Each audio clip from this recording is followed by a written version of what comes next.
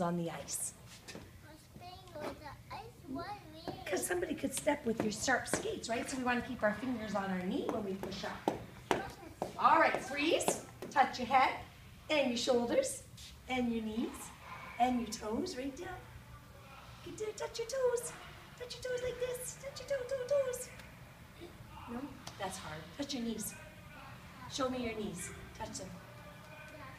You sh- uh, then show me your shoulders. Touch your shoulders. That's not hard.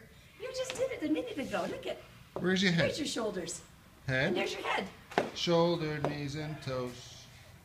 Knees and toes. Head. Where's head? Head. You just did it a minute ago. Head. Where's your head? Funny. Where's your head? Head's up here. Head.